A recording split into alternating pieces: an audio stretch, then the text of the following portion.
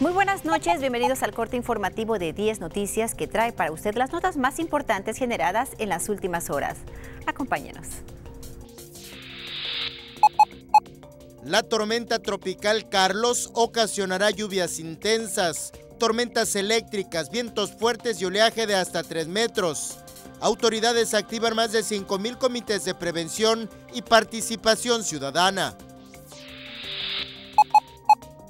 El INE en Chiapas integró el resultado final de la votación y los consejos distritales procedieron la entrega de constancias a las y los ganadores de la contienda a una diputación federal. La Reserva de la Biosfera La Encrucijada cumple 20 años, tiempo en el que ha impulsado la protección de los recursos naturales en más de 144 mil hectáreas que abarcan seis municipios.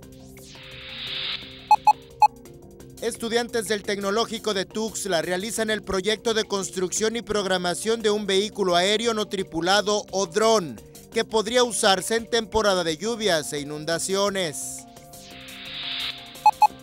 En información nacional, México y Estados Unidos revisaron temas prioritarios en la agenda bilateral, especialmente los relacionados con educación y movilidad académica, informó la Secretaría de Relaciones Exteriores.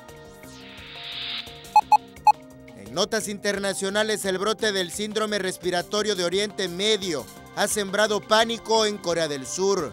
10 personas han muerto y más de 120 se infectaron desde que se diagnosticó el primer caso en mayo.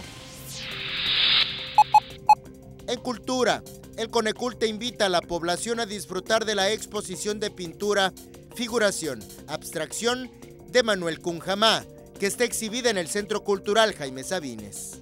Hasta aquí el corte informativo de 10 Noticias. Síganos en las redes sociales, en Facebook, búsquenos como Diagonal 10 Noticias y Twitter arroba 10 Noticias. Muy buenas noches y continúe con nuestra programación.